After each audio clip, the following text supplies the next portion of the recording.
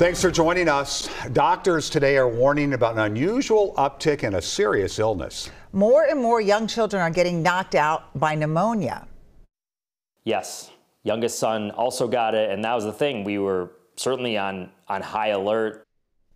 And here's what parents need to be on high alert for a deep cough, fever, fatigue, and sore throat that just won't go away. Our Jonah Kaplan talked to a doctor about this spreading concern.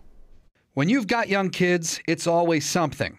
Daniel Shyatt is a dad to three boys. You go through all of the different ailments that it could be flu, COVID, bacterial virus. But pneumonia? I had never really heard of kids getting pneumonia, so it just never really crossed our mind. Why their middle son, Ruben, wouldn't stop coughing and why his fever kept coming back questions the Shyatts couldn't get out of their minds. Their pediatrician then suggested a chest x ray, which found some fluid and inflammation in Ruben's lungs.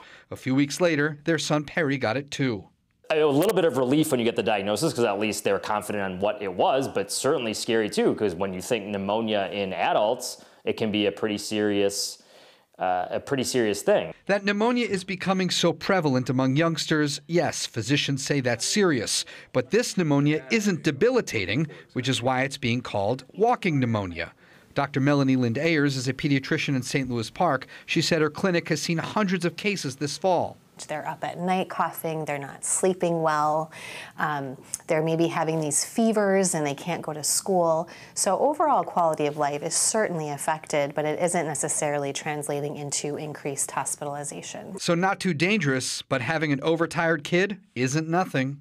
I could talk all day about the importance of sleep on um, uh, the brain functioning, mood, uh, illness prevention, um, healthy bodies. In St. Louis Park, Jonah Kaplan, WCCO News.